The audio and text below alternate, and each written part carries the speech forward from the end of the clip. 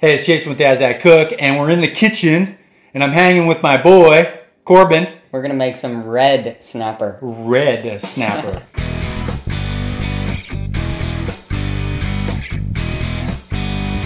All right, so we're gonna do our egg wash now. I've got two eggs here. I've got our milk, some red snapper, what is it? rad snapper. There you go.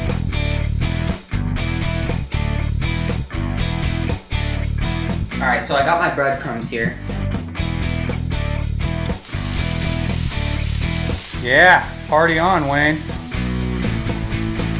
It's time to plate everything. This is the best part. Actually, it's not the best part. The best part is eating it, and that's the coolest thing. Wow, good work, man. God, this is so good.